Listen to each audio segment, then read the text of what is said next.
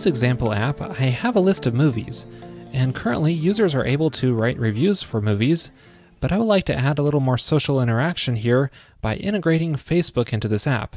This way, users can share their movies reviews with their friends. Well, let me show you how to do that. Now, one of the easiest ways to add Facebook to an app is through their social plugins. Here we could easily embed a like button or a comment section and so on. But I'm looking for something that's a little more tightly integrated into the core functionality of the application. So the social plugins won't work for us here. Instead, what we need to do is register the application at developers.facebook.com. So doing this will allow us to communicate with Facebook's Graph API and their Open Graph platform. Now once you're here, just click on Create a New App. Next, we need to give the app a name. I'll just call this app uh, Cinematron, and I'll use that as a namespace as well. Now, it's important that the namespace be unique between all Facebook apps, so you might need to try a few here. Now, Facebook has partnered up with Heroku for hosting their web apps, which is pretty awesome because they're an awesome Rails host. Uh, you can check this box if you want them to set up that automatically, but uh, you can really use any host that you want for your Rails app. And once you hit continue, just fill in the CAPTCHA to proceed and click on submit. So once your app is created, take note of the app's ID and secret, because you'll need these when communicating with Facebook's API. Now there are many other options which you can specify here to further customize your app. I'll be enabling this option which will allow other users to authenticate through Facebook on my application. Now it's required that you specify a site URL here for security, and I'm going to just set this to localhost port 3000, but you'll need to do this wherever your Rails app is running under, so it might be a .dev domain if you're using POW. Now, once you deploy your Rails app into production, you'll need to change this domain name to match. And then after that point, if you still want to test on your local machine, you might want to change your host config file for your system so that it points that same domain name to your local system for testing and development. But in the meantime, pointing it to localhost port 3000 for local testing should work fine. And then I'll just save the changes to uh, commit them. Next up, I want to customize the auth dialog, which I can do so here. So this is what Facebook shows to the user when they authenticate, and I'll just fill this in with details about this app. There we go. Now I didn't provide a privacy policy or terms of service URL, which Facebook requires unless your app is in sandbox mode, which I'll talk about in a minute. But once you fill this out, you can click Save Changes, and then you can preview the dialog here to see what the user would see. That looks good. So uh, next I'll go to the advanced settings, which is where I can enable sandbox mode. It's uh, disabled by default, but I can enable it, so this will make sure that the app is only visible to its developers. And that's the only thing I'm going to change here, but there are a lot of other options which you can check out. Alright, now it's time to integrate Facebook into our app. First of all, the user needs some way to authenticate through Facebook, so I'm going to add a sign in through Facebook link at the top right of our app. To do this, I'll be using the OmniAuth Facebook gem. I love OmniAuth, and this gem is quite flexible because it supports both uh, authenticating through the server side and on the client side through JavaScript. And the README is quite nice, it goes into a lot of detail on how to handle Facebook authentication. I'll start by adding this gem to my Gemfile, gem omniauth Facebook, and then run the bundle command to install it. And then inside of the config initializers directory, I'll make a new file here called omniauth.rb. Uh, this is where I can put the omniauth config. Now I'll just paste in the code for this. Uh, here I'm setting the OmniAuth logger to the Rails logger and adding OmniAuth to the Rack middleware and setting the provider for Facebook and passing in the app ID and secret through environment variables here, which you would want to set those to the app's ID and secret that was given to you when you created the Facebook app. Now after restarting your app and visiting auth slash Facebook, that should take you to the Facebook sign-in page. If you get an error here, double check your app settings on Facebook and make sure that you're passing in the proper environment variables into the OmniAuth config. I'll click on Go to App to complete the sign-in, which will take me back to my Rails app. And this gives me a routing error, which is no surprise because our app doesn't yet handle the OmniAuth callback.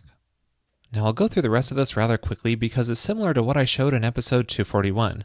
Going into my routes file, I'll just paste in some code here to add a few routes for responding to the callback URL and passing that to a sessions controller create action, which I'll need to make. I'll make a new file here called sessions controller.rb. And I'll paste in the code for this as well. Uh, so this sessions controller create action assumes we have a user model that we can pass in the omniauth hash of details to, and then we persist that in a session. Now, before I create the user model, you might want to ask yourself, do I really need to persist the user in the database like this? Um, if you don't have any associations to set up with the user, you might be able to just store the OmniAuth hash of details directly inside of a session instead of creating a separate record for the user. But here I will be generating a user model, so I'll just do that. I'll store the provider and UID credentials that OmniAuth gives us. Let's store the name and the OAuth token, and the OAuth expires at date time as well, because uh, Facebook OAuth tokens don't last forever. And then I'll migrate the database to create that table. Now, if you check out the OmniAuth Facebook README, there you can find an example hash of details that are provided. So you might want to store any of these values in the database, such as maybe the image URL, so you can display their profile image. Next, I'll go into the user model that was generated and paste in the code for this from OmniAuth method, which I call from the sessions controller. Now, this is quite a bit different than what I've shown you in the past, so let me walk you through it. First, I try to find a user record which matches that given provider and UID, and then I call first or initialize, which is a new method provided in Rails 3.2, I believe, and this will either return the first record or initialize a new user record with those credentials, and then I call tap on here to uh, pass that user instance to the block, and here I just set various attributes provided by the OmniAuth hash. But notice I'm calling those hash keys as methods on here, and that's because OmniAuth uses the Hashie gem, which allows you to uh, call methods as keys to access hash values. And so you just set these for each of the database attributes, and I'm extracting out the time here by calling time at, and then saving the user record and returning it. One more thing I want to point out here is that I'm resetting each of these values every time, even for existing user records. And that's important to get the latest authentication token, but also if they change their name or any other credentials, that will be picked up through this. Now, just a couple more quick changes to finish this up. In my application controller, I'll add in this method for fetching the current user. Pretty standard stuff here. And then inside of my application layout file, I'll paste in a couple of links so that the user can sign in with Facebook, which will go to auth slash Facebook, or sign out if they've already signed in. So let's try this out. Reloading this page, and there's my sign in link. Clicking in it should instantly sign me in because I've already authorized this app through Facebook. And it looks like it works. Yay!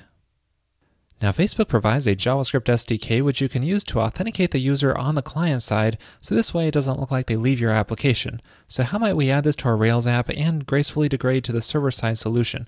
Well, let me show you. All it will take to do this is a bit of JavaScript, or in my case, CoffeeScript. So under the app assets JavaScript directory, I'll make a new file here and call it uh, facebook.js.coffee, and I'm also going to append the .erb extension so we can insert some dynamic content. Now I'm just going to paste in the code for this, but let me walk you through it. Uh, after the DOM is loaded, what I'm going to do is insert this Facebook root div into the body because this is what Facebook expects there to be. And then I'm going to make an AJAX request to Facebook's JavaScript SDK. So this way it'll load asynchronously and then interpret that as a script. Now once that's done loading, it's going to trigger this FB async init function on the window. So this means the uh, JavaScript SDK is fully loaded and ready for you to use. So that means I can initialize it with some custom settings, including the app ID, which I'm going to set using that same environment variable I used earlier. So this is where the ERB comes in handy, so that there's no duplication of that app ID in this file. And then I am enabling cookies, so this means that the uh, user's credentials will be stored in a cookie so I can access them on the server side. So once that's initialized, I'm going to listen to the click event on the sign-in link. And instead of the, doing the default behavior here, which will fall back to OmniAuth, I'm going to uh, trigger the Facebook login function, which will display a dialog to the user asking them to sign in and authenticate the app. And once they do that successfully, it's going to direct them to the auth Facebook callback path so that the uh, authentication can finish and it will generate the user record or whatever it needs to do on the server side. Now you might want to trigger this remotely through Ajax instead of just directing the user there if you want to keep everything on that same page. And then lastly, I have the sign out link, which when clicked is going to uh, check the Facebook status and see if they're currently logged in. And if they are, it will call the Facebook logout function, which will sign them out of Facebook entirely. And this returns true so that it falls back through to the actual link behavior, which will end up signing them out of the application that they're signed in through as well, uh, removing that user ID from the session. Oh, and you know what? I just realized there's a little problem with the script. Uh, the Ajax function here doesn't like it when you use a relative protocol like I am doing here. So you'll need to specify the protocol, uh, let's say the window location protocol there. So that way it'll be uh, set uh, absolutely. So now let's try this out. Off camera, I deauthorize this app in my Facebook account so that we can see the effect. Now when I hit reload on this page and click sign in with Facebook, I get a pop-up dialog this time that's uh, asking me to authorize this, so log in with Facebook. And now it brings me back here and finishes the sign in process. It would create a user record if it needed to, and it shows me as signed in. And now if I try signing out, it should actually log me out of Facebook, which I can click sign in with Facebook again, and it shows me that I'm logged out here where I actually have to fully sign in, and then it finishes the sign in process. Now, I do find there are some odd little issues with this JavaScript solution. For example, if I open up the browser console, you can see this warning message, which seems to work fine despite this, but uh, it would be nice if we can uh, figure out how to get rid of this warning. Uh, if someone knows, please post in the comments. I have looked high and low for a good solution, but really haven't found any. Perhaps it's specific to me running on localhost. I'm not entirely sure, but I have seen it on fully hosted apps as well. Also, there might be cases where the Facebook login cookie and your app session cookie get out of sync, uh, which usually isn't too much of a problem, but it might cause some odd behavior, so just watch out for that. Um, all in all, you might not want to use the JavaScript authentication solution if you're okay with just staying on the server side. I find it to be a little bit more of a solid experience. So, after you successfully authenticated the user, how do you actually interact with Facebook? Well, you can do that through their JavaScript SDK or on the Ruby side through a gem like Koala. So, uh, the README is pretty nice here. If you check this out, you can just pass in that OAuth token in the user uh, table into here and then just interact with the Facebook API and uh, grab information about the user or post user activity and so on. Now, there's a lot more I could talk about here, but we're out of time for this episode. But in the pro episode this week, I go into detail on exactly this topic and show you how to get the most out of Facebook's Graph API. To watch that episode and gain access to all previous pro and revised episodes, visit railscasts.com/pro and you can sign up there for just $9 per month.